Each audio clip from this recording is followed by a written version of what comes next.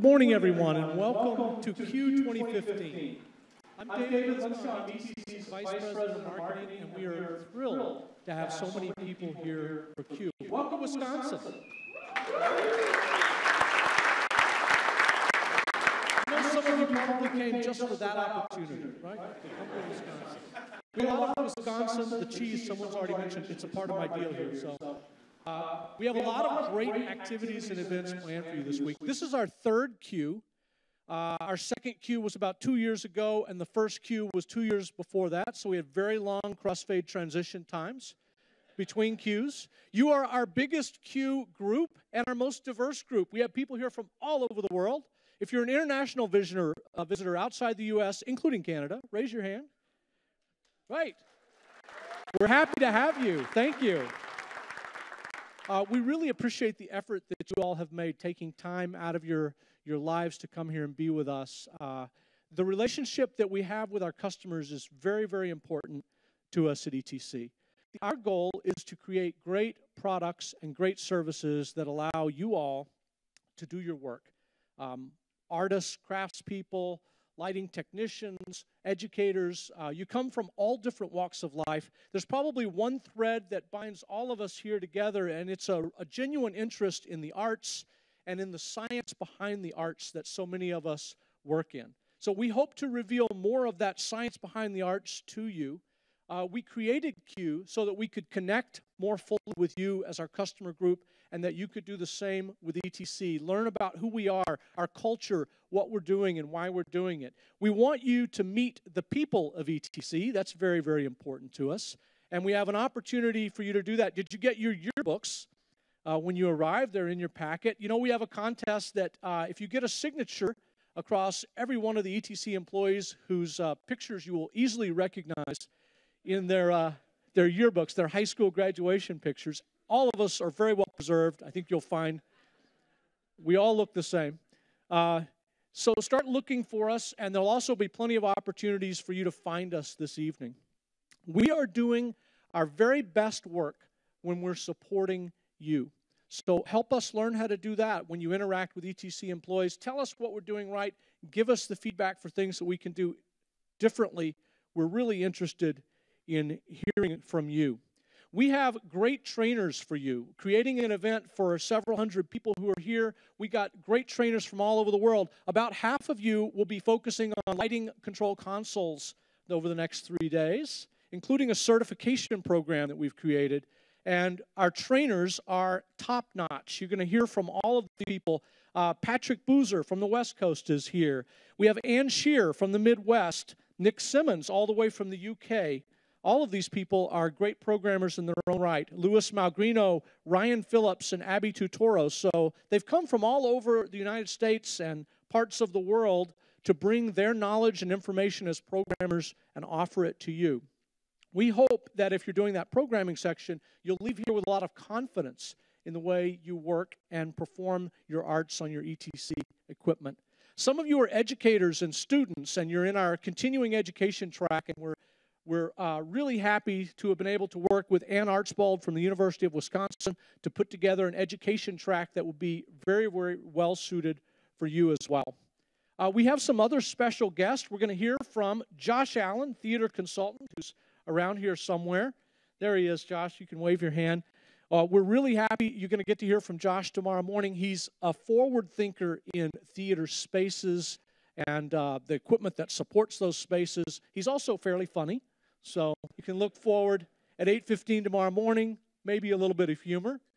Um, and then someone who isn't in the room because of flight delays, um, Al Crawford is with us. And Al is a great designer in his own right uh, with his company Arc3 Design, designing special events all over the world, but also the lighting director for one of America's greatest dance companies, the Alvin Ailey American Dance Theater.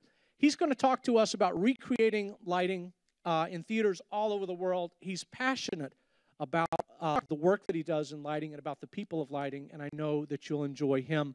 Uh, both Josh and Al are doing a morning and an evening speech and then uh, a master class as well. So, a great welcome to them. We have an information booth that many of you registered at. That'll be open throughout the weekend. So, if you're unsure about something, All information comes from the information booth. We have a great evening lined up for you at the factory tonight. The ETC headquarters is just a few miles from here.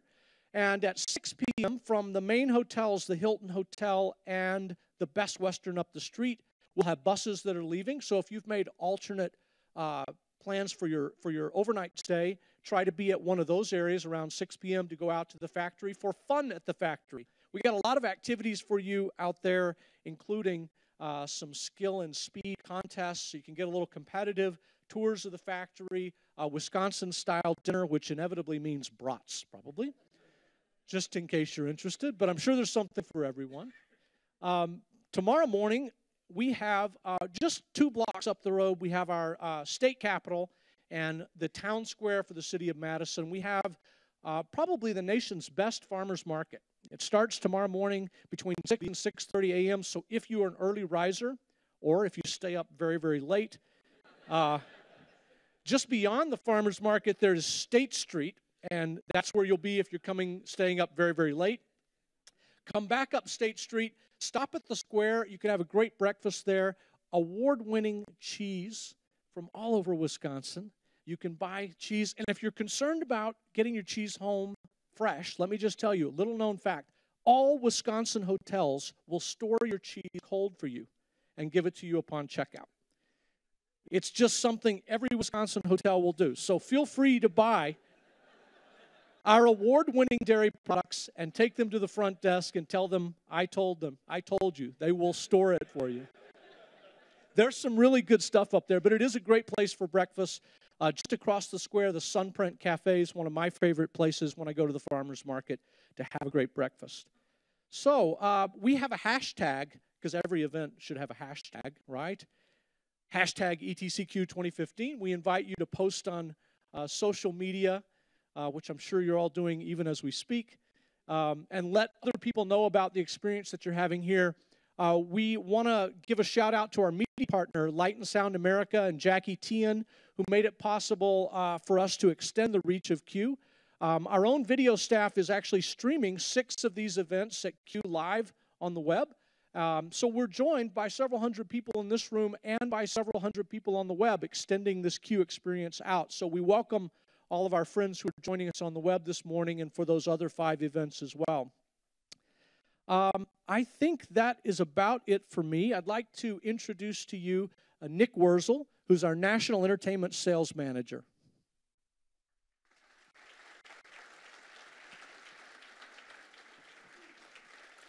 Good morning. Look at all of you. Wow. This is awesome. Welcome to Q3. Uh, before I get down to business, I would like to encourage everybody to kind of squeeze towards the middle, get to know your neighbor. We're still trying to, to fit people in. So if you kind of squeeze. If there are empty seats, you can squish in. Uh, streaming friends, if you want to change chairs while you're there, you can kind of feel the experience.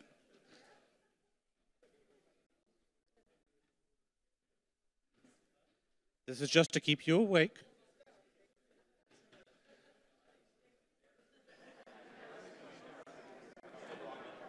Have a seat, young man. I know it's tough for you.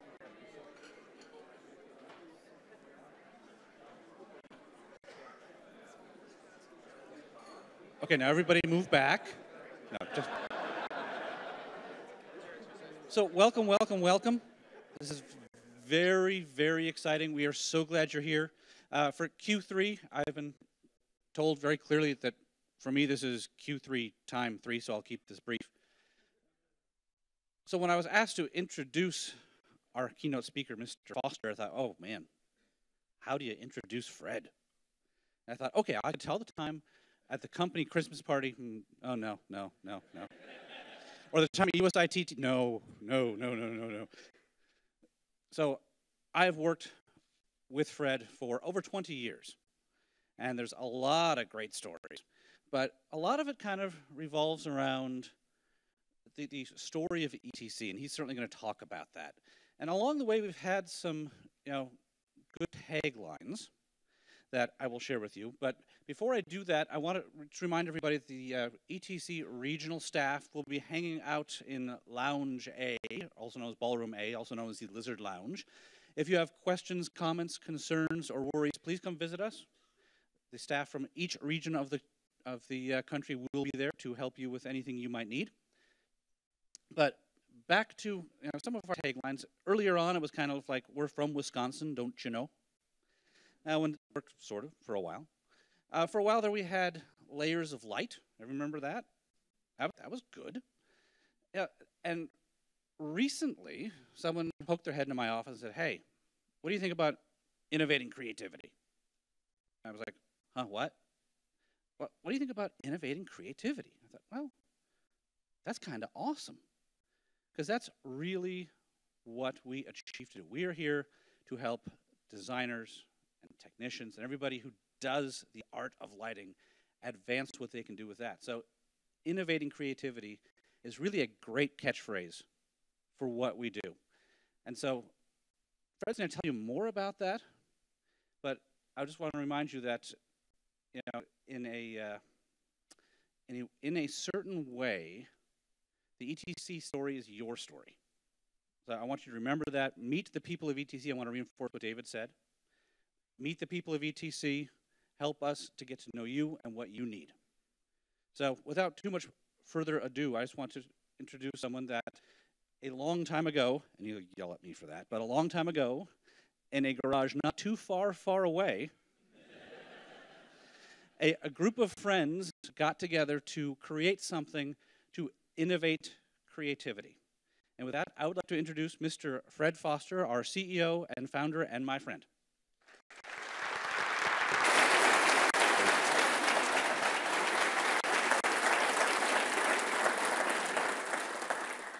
Good morning. So, about 40 years ago, almost to the day, I graduated from James Madison Memorial High School, which is on the west side of Madison. Four years before that, I had walked into my homeroom, which turned out to be the auditorium, and I looked up and I saw some spotlights, and I said, wow, that's kind of cool. And I basically didn't go to any other classes in high school. I remember having to beg a credit, half a credit from the head of the English department for a stagecraft course that I didn't take, but I taught. I had Parker and Smith memorized cover to cover. Um, Madison, the University of Wisconsin in Madison at that time, had a great lighting professor, a man named Gilbert Hemsley. And he had been here for about five years after he had pissed Jean Rosenthal off and he thought he would never get another job in New York. So he came out to the bucolic Midwest to become a professor. But then he started to draw fabulous, fabulous students, both undergraduate and graduate students. So by 1975, I came into a lighting program that had 162 first semester lighting students in it and about 15 graduate students that Gilbert would put in every performance space in Madison. One of the great things about studying with Gilbert, well, let me, let me step back a minute. One of the things I always say is that I'm incredibly arrogant now, but at 18, I was astoundingly arrogant. I was, I was going to be the greatest lighting designer. I was certain of it, right? So I walked into this program, and one of the things that was another feature of working with Gilbert is he would take us as students out when he worked professionally. And he was starting to work again in New York, um, really coming back into the opera circuit uh, through Boston and such. So as, at 18 years old, I was able to go to New York with Gilbert and spend two weeks at the Metropolitan Opera House. Basically, I got sandwiches for the production table. Um, but during this time, I watched Gilbert light two operas, Lohengrin and um.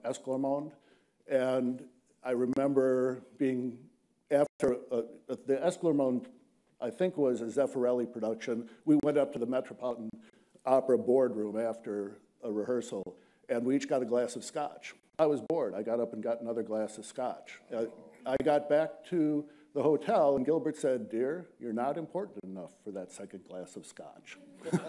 so all of a sudden, I got knocked down a peg, but I had a lot of pegs to go. Um, what happened is that I fell in love with opera houses. Not so much opera, but opera houses are amazing machines. The Met at that time had 65 electricians on any show call. Um, in Lohengrin, they brought a set on the Amsterdam Avenue Express, the upstage wagon, and for five minutes it came downstage and then settled into place with a herald trumpet going all the way around, and the lighting cue and the scenery move got a standing ovation. It was just awesome. However, it was 344 Ward Leonard dimmers being controlled by a 10 scene preset with two preset operators and one person doing crossfade. Back in Madison, in about 1973, Kliegl had um, sold a Q file, one of the earliest memory systems, to the university, um, cost about $150,000. So I have an older brother. He's, uh, he calls me his younger brother, so I get to go the other direction now that we're older. Um, and he was an electronics and physics nut. He was studying physics at the UW, so I brought him down to look at this. We'd always been talking about making dimmers or something where our interests lined up. He took one look at this thing, which was three racks of electronics. It actually wasn't a computer board, but it had core memory in it.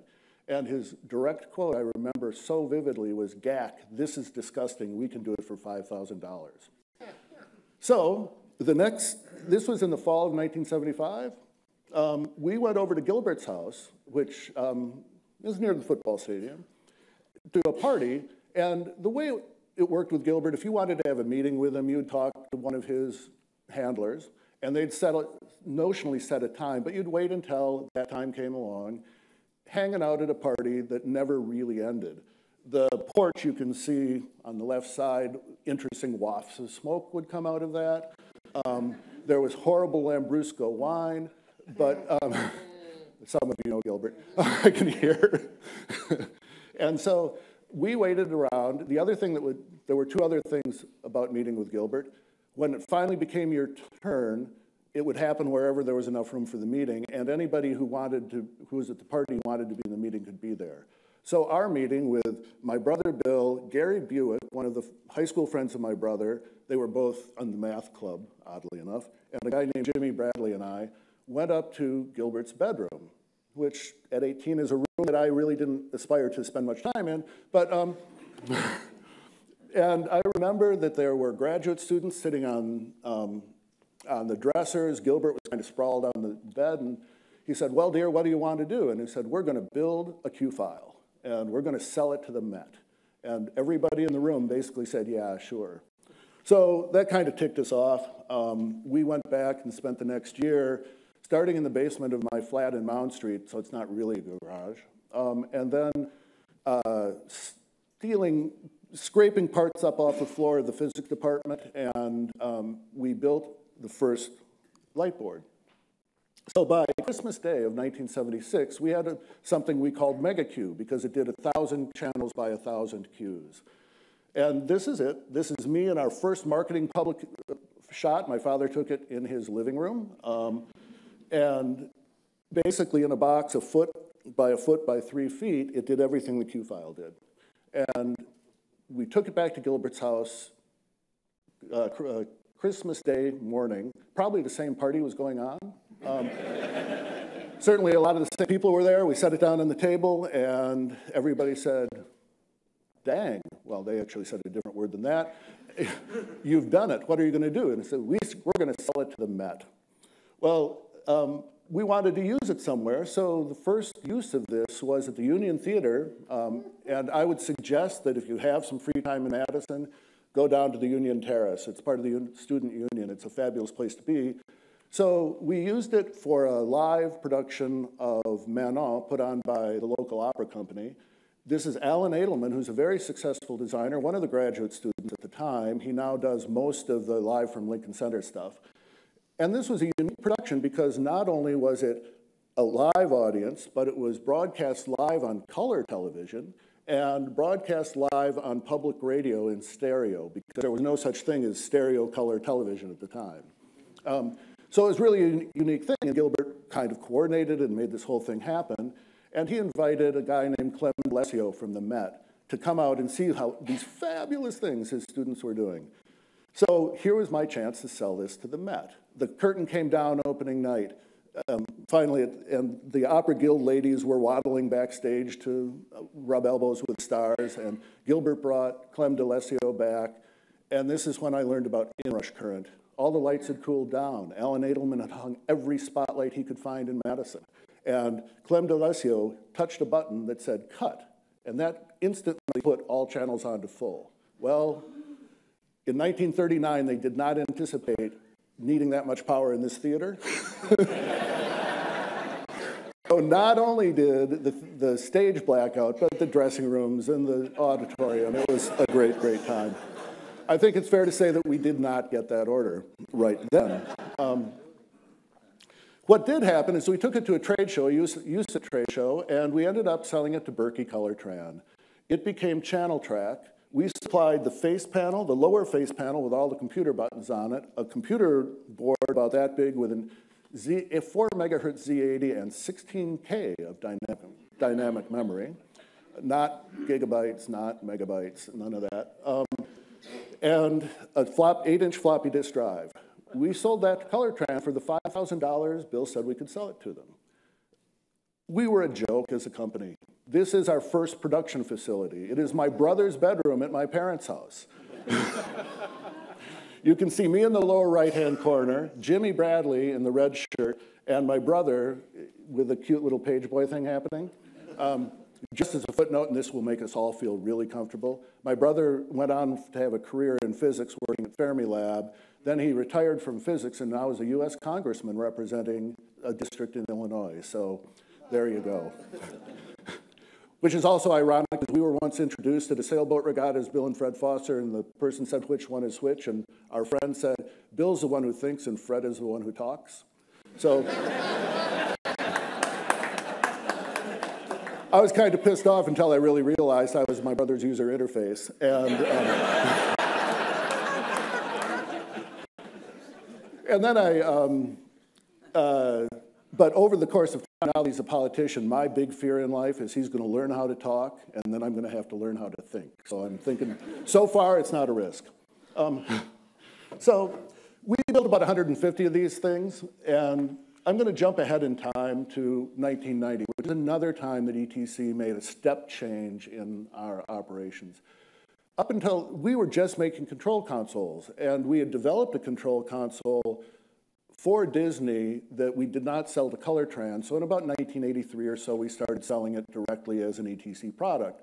But here we were making little control console, well, pretty decent control consoles at the time in Wisconsin, and competing against Henry Strand and Kliegl and Colortran and Electro Controls, who made the entire lighting system. So we teamed up with a couple of companies, Lighting Methods in Rochester, New York, Teatronics in California, and they made dimmers. There was a whole class of the industry called alphabet soup. We were all known by our initials, ETC, LMI, that sort of thing.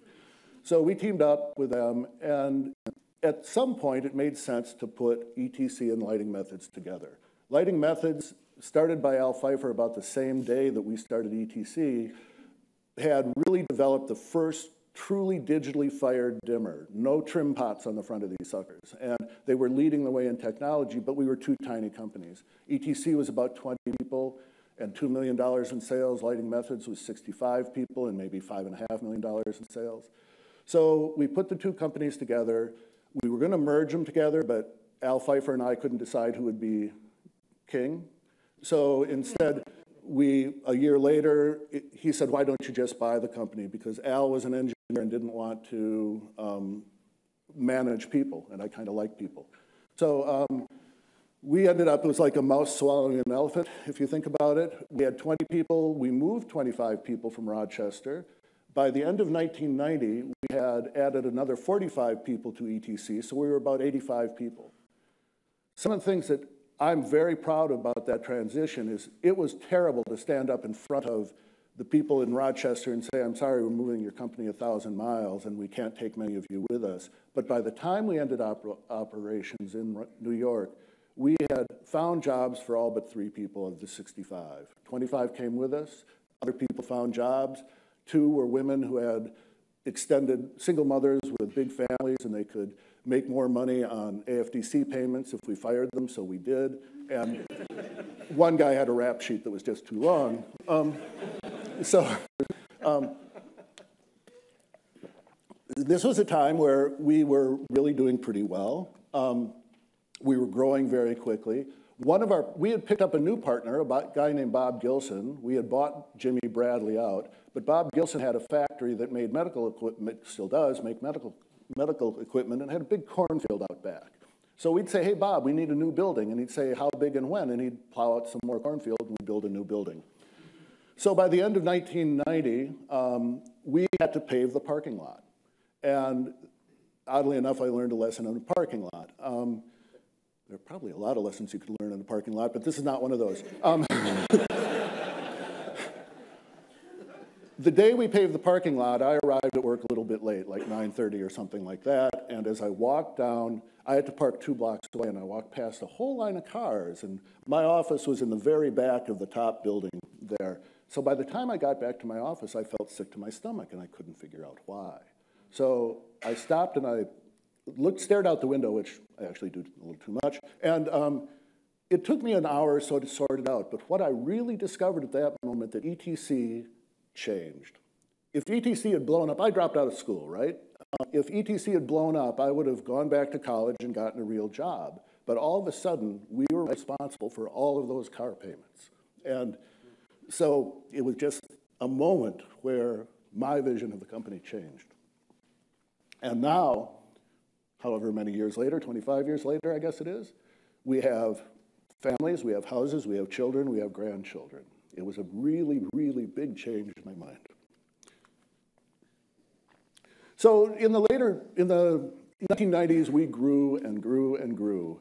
We introduced this kind of useful thing called Source 4. Um, we developed the Obsession console, which got us Broadway and finally got Four Star to buy something from us.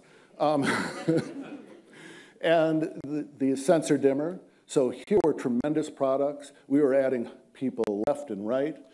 By the middle of the 1990s, we expanded into Europe and into Asia. Um, and we were growing for the sake of growing. Bob Gilson, this new partner we brought in at some point, said, Why are you spending all of your time growing and not making any money? We were taking every penny we made and put it back into growing. Why don't you just stop, get really good at what you do, and make a lot of money like we do? And I looked at his toy collection. He's got a 29 rank Wurlitzer theater organ in his factory. And I said, hmm, I guess I should probably think about this. So my father was a law professor at the university, and he only knew one businessman, a man named Marshall Erdman, who had started a company that grew to 800 people making medical clinics, prefabricated medical clinics.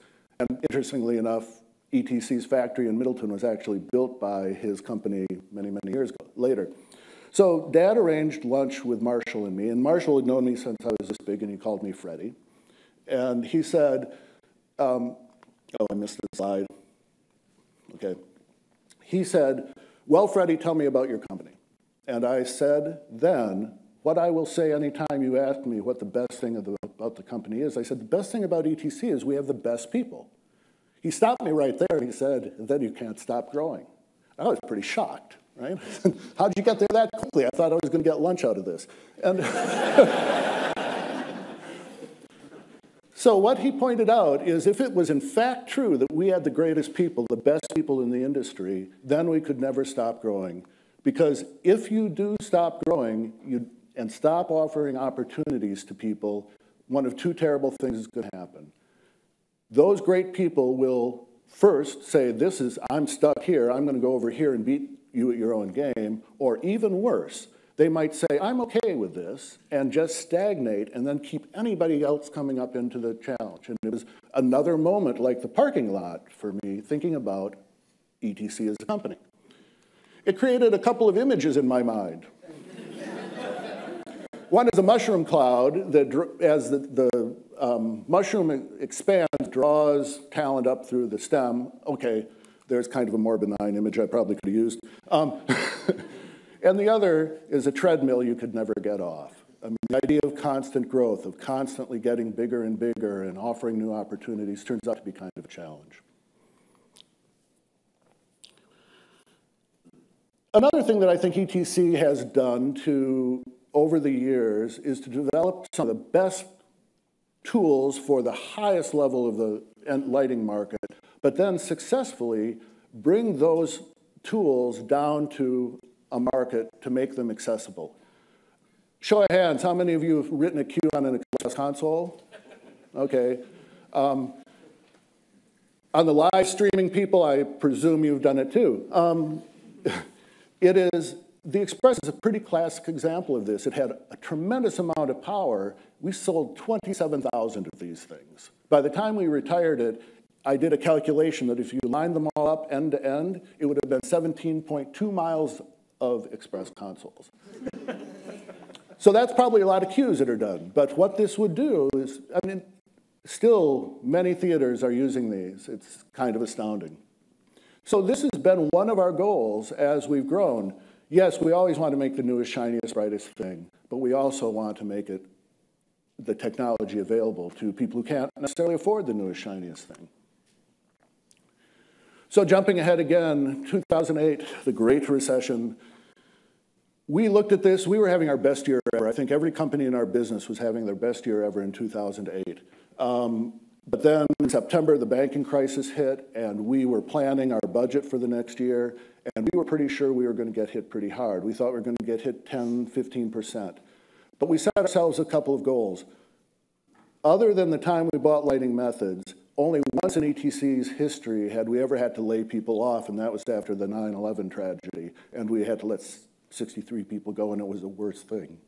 So we set ourselves the primary goal is we're not going to lose anybody. Every company seemed to take this as a get out of jail free card to lay people off. And we weren't going to do this. So we put in wage freezes. For 18 of the next 24 months, nobody at ETC got a raise. Um, we went a whole year, then we thought it was getting better, and then we had to put it back in. We cut every expense we could that didn't cost a job. The other situation was that since we were in good financial condition going into this, we figured that it was very important to develop new products because we were confident that the economy would recover eventually. We knew how long it took us to develop new products, so that gave the economy a long time. and um, we felt that if we had the entire team together and a whole slew of new products, that we were going to be able to come out, because again, as companies stopped employing people, they stopped developing products. So the first thing we decided to do was get into rigging. Now this is kind of a stretch for a lighting company to get into rigging. Um, I, I, referenced it a little earlier. I was a sailboat racer, so I've always liked lines and pulleys. Um, and I've always felt there was a connection between lighting and rigging. And there's a real opportunity in rigging to bring automated rigging, which is inherently safer than counterweight systems, down to an affordable package so venues that couldn't afford automation could. And that's going to be done with the same techniques that we've done with dimming. A dimmer in, in 1975, a single dimmer channel cost $1,000. The CD80 dimmer dropped that down to $300, and the sensor dimmer dropped that down to $250. So if we can do the same thing with rigging, this is why we got into that. Then the 2009, I'll tell you, 2008, I wouldn't touch an LED fixture with a 10-foot pole. Um, they were the devil's tool. Um, they made they made really, really ugly light. Yeah, on a white wall, you can make 16.2 million colors, but if you try to make somebody's skin look good with an RGB LED, you're screwed. So we didn't want to get into that, and quite frankly, every, every company in the business was taking an array of LEDs and putting them in something that looked like a par can and said, we're newfangled, and we weren't going to do that. And then Novella Smith and Rob Gerlach came to us with a product they had developed called Selador. Novella's a lighting designer, and that's really a great way to start developing a lighting product, not as an engineer, but as a designer. Rob was an engineer. They had teamed up to come up, and came up with this concept of let's find as many colors of LEDs as we can so we have as much of the spectrum as possible.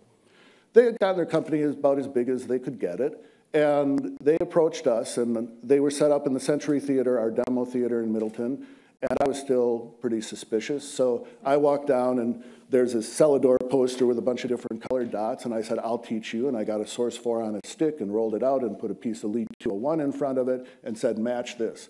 So Novella wiggled these seven faders, and I said, damn, that's really pretty good. And that is why we decided to get into light, into LED lighting, because now there was a clear path of be, creating high quality light with the new technology. So five, four years ago when we did Q, um, the first time I premiered the Source 4 LED. There was this period of time between LEDs coming out that at USITT in the student sessions, I would always ask Tom Littrell, when are you going to make an LED source for? And he would smile and say, ETC is always working on new and interesting things because he didn't want to lie and we didn't have a clue how to make a spotlight out of a profile out of LEDs and actually nobody really did. So we, there were four of these, maybe two of these things hung right up here and at the end I said, so here it is and showed what we could do with it. Um, and so I, I, think at this point I'd like to talk a little bit about what LEDs have done over the years.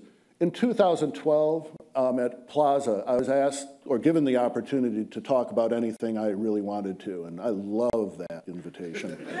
um, so what I, my presentation was titled this, um, we need to join together to defend the quality of light. And then I realized I'm not a lighting designer and had, I had no right to talk about the quality of light, and I panicked a week before I had to give the talk, as I normally do. And so I, um, I talked to, I sent emails to every lighting designer I could think of, Duane Schuler, Richard Pilbrow, Ken Billington, uh, Rick Fisher, Paule Constable, Neil Austin, and said, help, um, what is the quality of light?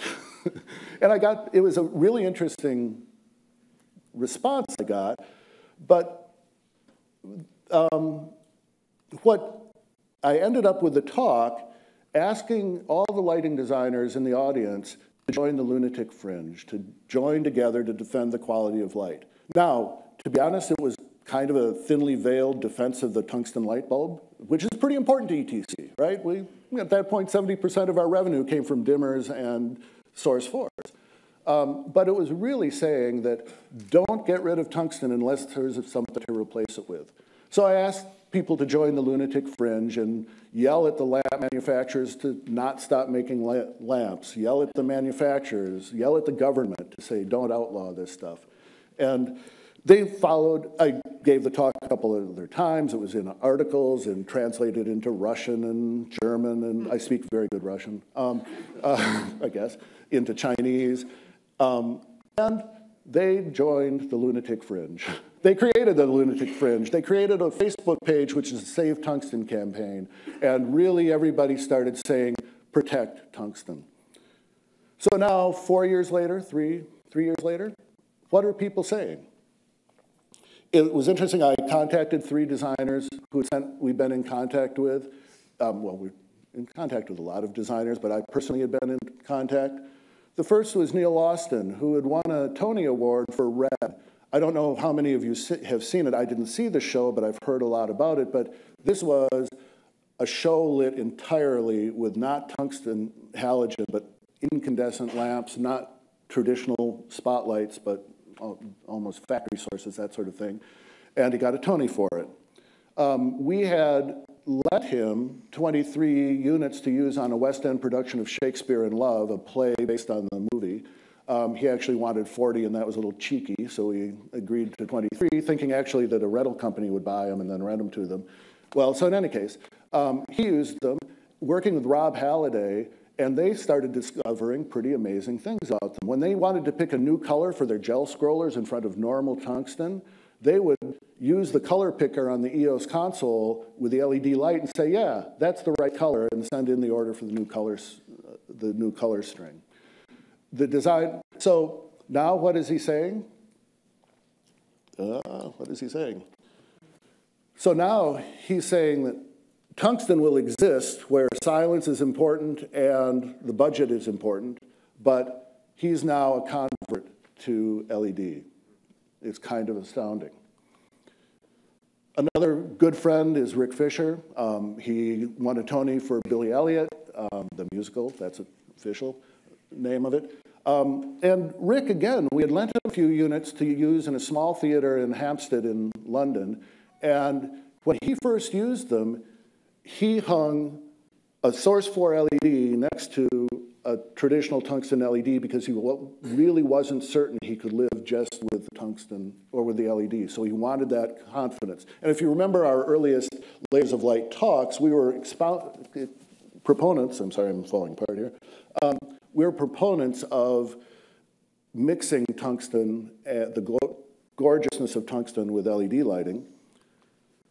Recently, he's used them on Broadway shows and in operas, and his position is changing somewhat. He's saying that instead of being the, the LED being the specialist fixture, the unique fixture you use occasionally, he sees LED lighting, the seven color system, X7 system, being the primary, and tungsten becoming the secondary source. Wow. This is three years since the call to arms. And the, one of the last people I've contacted is Paule Constable. She's the most recent Tony Award winner for um, the best play this year. She um, did War Horse. Many of you have probably seen War Horse. It is a gorgeous, gorgeous lighting, job of lighting, a fantastic show. Paule writes about, or spoke about her technique, her strategy and process for lighting design. She gets her inspiration for lighting by the sun shining through the mists of the trees as she runs in the morning. This is a natural lighting design. She's incredibly observant.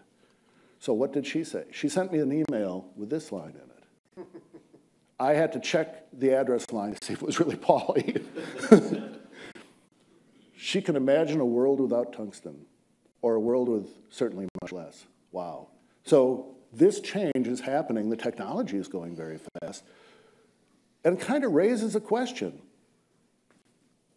Uh, well, no, um, before it raises a question, it does raise a question, but I'll get back to that later. I'm going to fix my string here. No, I'm not. Um, okay, so today, as I've been talking now, for about a third of the time I've been talking, I've been lit by pure tungsten.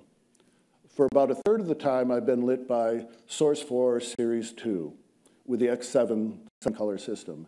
And about a third of the time, I've been lit by the red, green, blue, lime color system in our color source.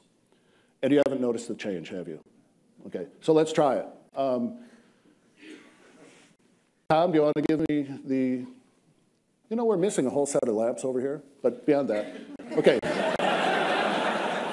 Dimmer check. Um, this is the pure tungsten, a source 4. This is a series, the X7, series 2. And this is the color source, RGB lime. Not a lot of difference, is there? You might have noticed quite a difference on the cloth. Thankfully, you didn't notice much on my skin. The cloth of many colors probably changed a good bit. You lose the color depth as you go down to four colors, but it's still pretty fine. However, a lot of the audience, we hope, is live streaming this. And if you saw those three cues bump on your monitors, you would have seen a change because television cameras see light different than our eyes do. So we've created three cues, the same three cues in concept that look the same on video. So let's go back and do the video cue for tungsten. And now the Series 7, or Series 2 and now the color source. To the, I'm hearing people go, hmm, here. I'm hoping I'm hearing people online saying, no kidding. Okay. but what this really points out to is something that kind of bothers me about lighting. When there's an event that is being broadcast live on television with a live audience, the television designers don't give a damn about what you see in the audience. Right. They care about what it looks like on their monitor or what the engineers see on their waveforms. It may be that LEDs can solve this problem. About three years ago, one of our founders, Gary Bewick, came back from his career in physics and electronics and said, I'm bored, what can I do for ETC? And I said, well, Gary, we've got this color system that we don't really understand. Can you figure it out for us? And he has spent two or three years understanding the science of color, not the art. He can't, you know, he dresses worse than I do. Um, but what he's done is to really refine mathematical models that are starting to be put into our products, and we'll talk about that in a little bit. Um, so a real question is, is tungsten a passing fad? I'm going to go to, I will say it is not a passing fad. We will always need tungsten. I don't think there's going to be a artificial, well, it's an artificial source, but I, I don't think there's going to be a, a, source that ever gives us that full spectrum light, and there's sometimes it's going to be perfect, but LEDs bring so much more to the game, or new things to the game. So in 2014, we were planning, or 2013, we were planning our budget for 2014. We're a real company, we make budgets. Um, well, okay, I don't do that so much, but Dick Titus and the gang does. Um, so we looked at it and we started sensing the economy was recovering. And when we come up with a new big announcement, I have a company meeting in Town Square, and my tradition is to sit on a rolling rack. Um, and I announced to the company that it was time to start growing again. Because since the recession hit, we really had circled our wagons and been very in a defensive posture, with the exception of rigging and LEDs. Um, and so it was time now to start growing. Now, why did we say that? Marshall Erdman is why we said that. Because during that four years of recession, we weren't as busy, and Dick Titus and Julie Cymbalak had put together a professional development program for employees. People were learning more, and, and if we didn't start offering opportunities to these great people, we would lose them. So I got to tell you, while I'm a man who loves to spin a lot of plates, when you tell about 800 people that you want to come up with creative ways to grow the company, it gets scary. so many ideas, so much stuff is happening. So some of the things that happen. In rigging, somebody says, let's buy a competitor. What a great idea. Let's do this in like six months and move them to Wisconsin. but once you do that, you have to build yourself a factory with eight one-ton jib cranes, bridge cranes, feeding two five-ton bridge cranes, feeding one 10-ton bridge crane. You have to build a real factory. And I got to tell you again, in 1975, I never would have thought that ETC would need that, would even need a chain hoist. Um, so in power control, which we used to call dimming, there's a change with LEDs. It's to intelligently switched systems rather than dimming. So we have Sensor IQ, which you'll just see for the first time here, and the Echo Relay panel, as well as just a whole slew of other products. In the architectural um, market, we have, a, again, everything from the move to distributed control requires smaller um, switching devices. It's more about networking and distribution of data. Control, Gary's work on the subtle color control is now coming into the EOS family in release 2.3, I think I got that right? Yep.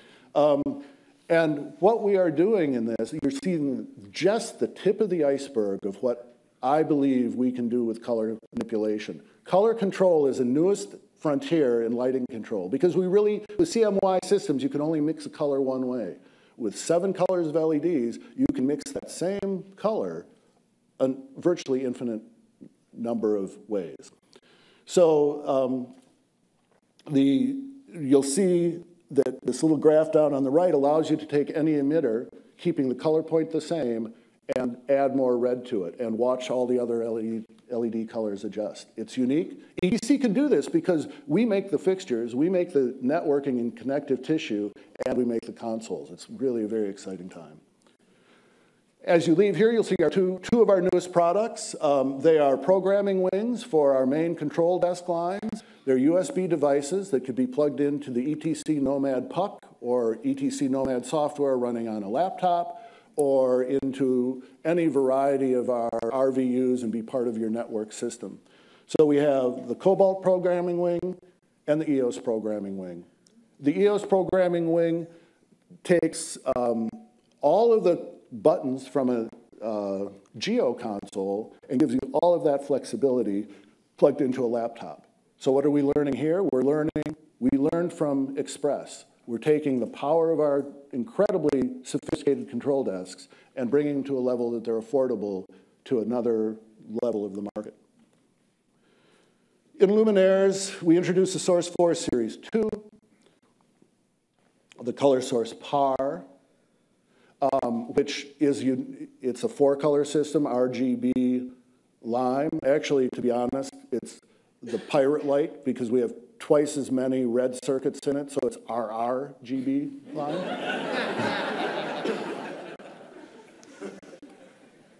And, ta-da, product reveal. the all-new color source spot. I can get you into this baby.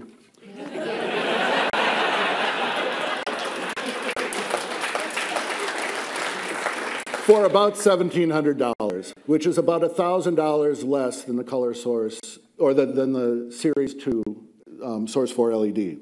It uses the same color system as the, the RRGB, the Pirate color system. It uses all of the lens tubes that, um, and lens barrels and accessories that the Source 4 does at an affordable price. So why don't you, why are you still gonna buy Series 2? You will, because it has that incredible color flexibility. This is being only a four-color system, you can do some of those metameric changes, but not the wonderful cues. I think I probably actually missed a cue, didn't I, um, back there, but the moonlight cue, but oh well. Um, so uh, you'll see all about this, um, learn all about this uh, today, tomorrow, and the next day, I guess. Not quite as exciting as the first LED thing I introduced. But I guess I would like to finish the, the way I, I finish really all of my talks. ETC isn't about the products or the technology, it's about the people of ETC. This summer, we're probably going to break a 1,000 employees for the first time. It's kind of an amazing thing. Um, I'm incredibly proud to work with everybody, and equally, I'm thrilled that you choose to come here and join ETC and learn about us, take the time. You are, as David said earlier, you're actually more important than the spotlights, and I thank you for being our customers.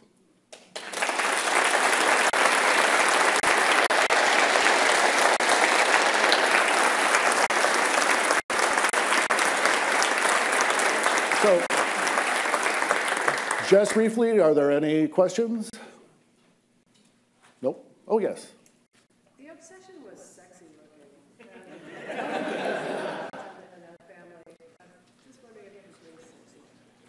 Bring sexy back. Um, the question was phrased that obsession was, I presume you mean obsession two, the bat board? Yeah. Um, obsession one, not so sexy. Um, uh, can we bring sexy back? Uh,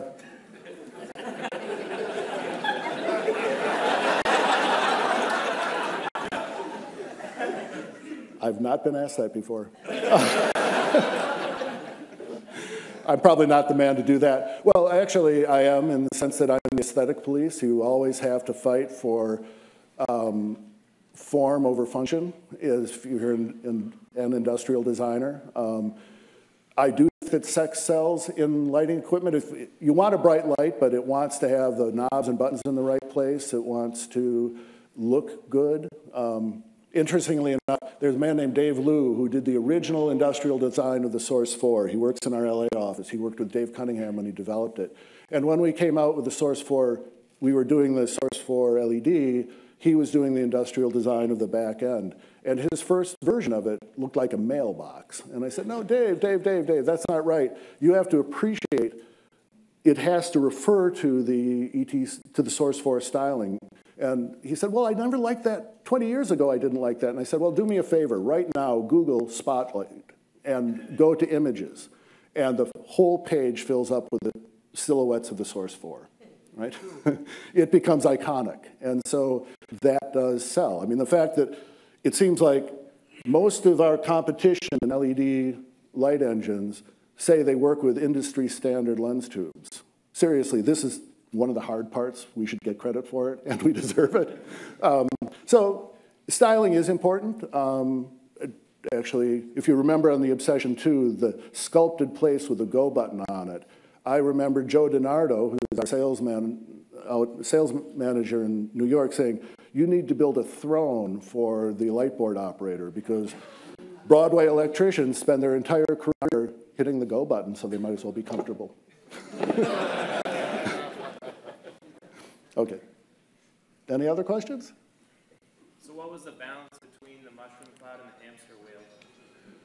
Kind There's, there's not a balance. Um, you don't, for a while back, I learned that the advantage that you, it's not the best thing to brag about how many people you have. From a running a business standpoint, you want to do more with less. Um, I remember a time when we had just reached some sales goal, you know, some number of million dollars that we were selling, and I went on a sales tour in, with Mike Griffith, who was our West Coast Regional, and everywhere, every place I stopped, I bragged about we had just become a company this big. And after the third time, he took me out in the parking lot and said, if you say that again, I'm going to punch you in the nose. And I said, why? He said, no, none of our customers want ETC to be bigger because that makes the customer seems smaller in relation to the company. Um, the, you know, we've had customers 40 years. For 40 years, we've had customers that are still our customers. And they remember when they could call up and get us to write a new, send them an EEPROM with a new, um, new function the next night. And you can't get that from us now. So bigger in many people's minds is not better. Um, what I will say about bigger is better is that we can do so much. It, you know, I, I get a lot of factory tours, and I walk around into a new part, to a part of the factory, and my tours often go, and this is where we used to build distribution. Let's go find it. and more recently, I've been discovering things that I didn't even know processes, even products that I didn't know we made. And I say, oh my God, I've got to know about this. Who- Who's doing this without my approval? And, and when I scrape one layer of paint off, what I find is there's a whole team, an army of people who are responsible for that, who are passionate about whatever that thing is. And that's a great thing about getting bigger, if you have the right people and the, a great company. Okay, break. Go Q3. I got to say it after all.